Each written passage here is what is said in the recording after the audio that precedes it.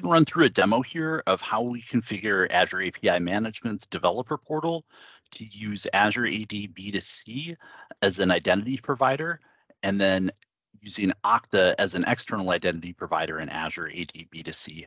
This approach allows users with an Okta identity to log into the developer portal as an authenticated user. Uh, first, take a look at my resource group. I've configured an Azure AD B2C tenant and an API management resource. Uh, the API management resource is not integrated into a virtual network. However, for the scope of this demo, that's not significant. This approach works whether or not the uh, API management resource is VNet integrated. Let's take a look at our B2C tenant. On the B2C tenant, the first thing that I did was to create an app registration. This app registration is used by API management to be able to do authentication into the B2C tenant. On the app registration, I have my application ID. I've created a client secret. So those are the two of the pieces of information I'll need when I configure the, the B2C identity provider in API management. And then under authentication, I have my redirect URIs for the developer portal and then I've enabled the following tokens down here. Next, let's take a look at how we configure the Okta identity provider in B2C. So in my tenant, I'll go to identity providers.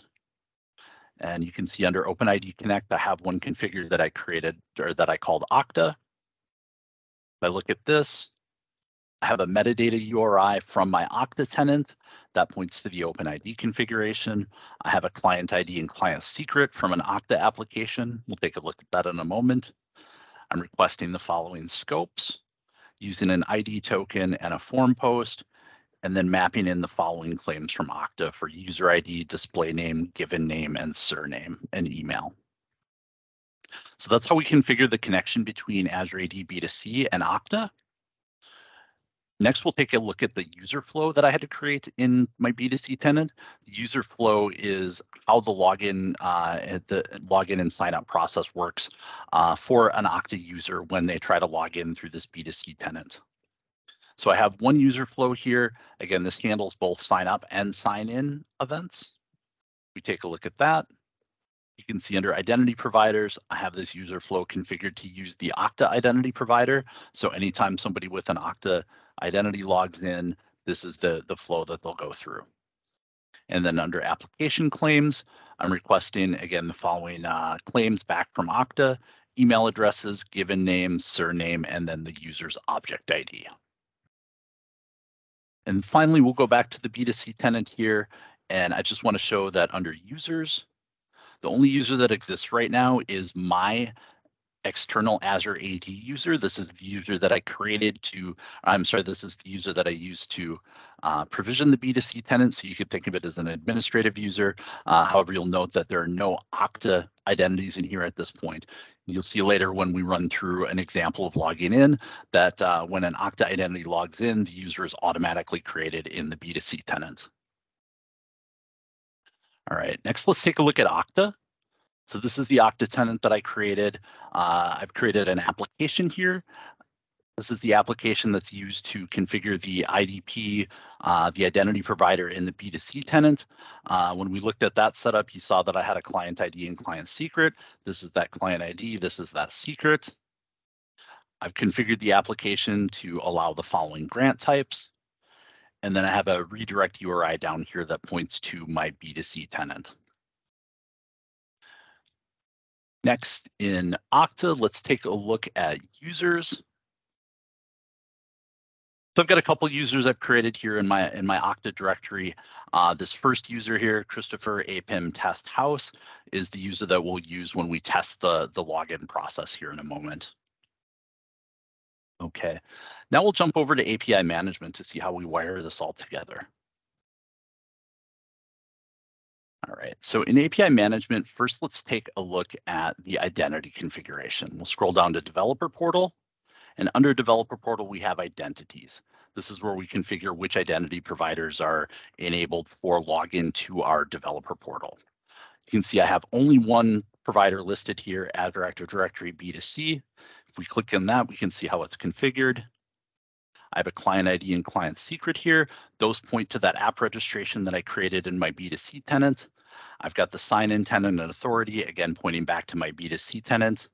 And then I have a, a list of policies for different type of types of events down here.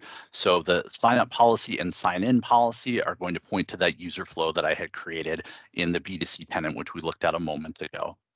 Uh, there are also options to create policies or define policies for profile editing and password reset policy. Those would work similarly.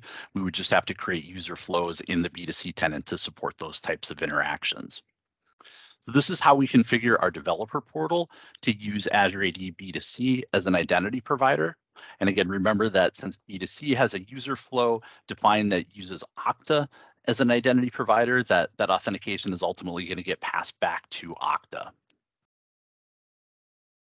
All right, next let's take a look at users under our developer portal settings. So anytime somebody signs up for a developer portal, they will have a record here in this, this users blade.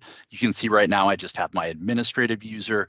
Once I log in with one of my Okta identities, you'll see that that user gets automatically created here and assigned to the developers group. Finally, in API management, let's take a look here at the API and product that I created. All right, so I created this conference API. Uh, it's just a demo API that has a number of operations on it. The way I'm going to expose this to users through the developer portal is by creating a product and then ensuring that that product is available only to the developers group. Uh, this will ensure that anonymous users, users that have not logged into the developer portal, won't be able to see or interact with this API at all. So we'll look at the product. I have this product here called Conference API. And if we look at the APIs that are contained in the product, you can see it contains the conference API. And then under access control, I'm allowing access to people in the administrators and developers group. Okay, so let's go ahead and test out the login experience. I'm going to go back to API management here and the overview. I'm going to copy my developer portal URL and bring up an in private browser window to test this login.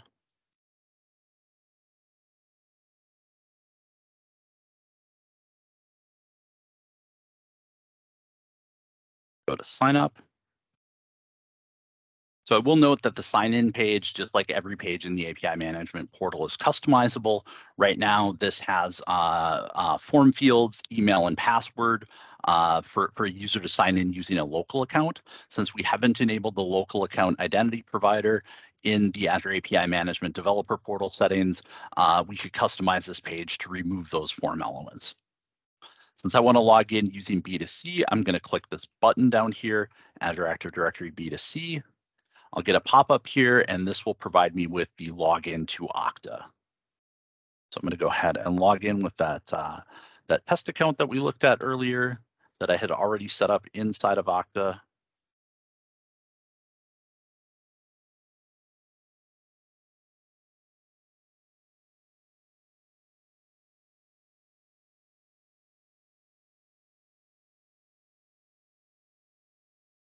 Sign in was successful. I get redirected back to the home page. Now, if I go to products, I can see my conference API. I can navigate into that the, the API that's contained inside of the product. So we can navigate into the API and see all of the different operations that are contained in this API. Uh, we can click into these to get details about the specific API operation. I'm going to go ahead and sign out.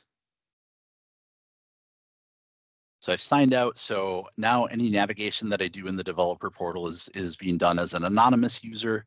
Let's go back to products. And you can see I no longer see that conference API listed under products because I didn't make it available to anonymous users. So let's go back to the Azure portal. And let's take a look at our users in our Azure AD B2C tenant. So I'm going to refresh here. I now have a new user that's been created automatically in my B2C tenant that points back to my Okta user. You can see I have my name and email address, uh, and then under source, it's other, uh, which indicates that it points back to uh, an external uh, identity provider. All right, and then we'll go back to our API management resource. We'll go under developer portal and we'll take a look at users. And again, I have a user there for the, the user that just logged in. You, again, you can see it's got my name, email address, and then it indicates that this is a B2C user. So that's the end of the demo here. Uh, again, the key takeaways here are that we can log in with Okta users uh, into the Azure API Management Developer Portal using Azure Active Directory B2C as sort of an identity integration layer. And don't need to pre-provision users in either API management or Active Azure Active Directory B2C. So those uh, those pointers back to Okta are automatically provisioned when a user logs in for the first time.